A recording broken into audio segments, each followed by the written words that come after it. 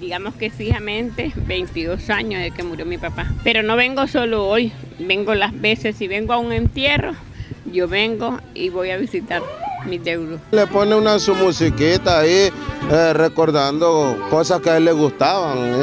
Este, nosotros aquí tenemos a, a, un par de hermanos y, y la verdad es que todos los años venimos a hacer esto. Es que tengo cinco años, mi mamá comenzó haciendo y elaborándolo aquí en el panteón. La tradición de nosotros es de todos los años. Tradición que llevan siempre los nicaragüenses a ver a sus familiares y está agradable, ahí no hay delincuencia, los buñuelos están ricos, hasta hoy lo pruebo.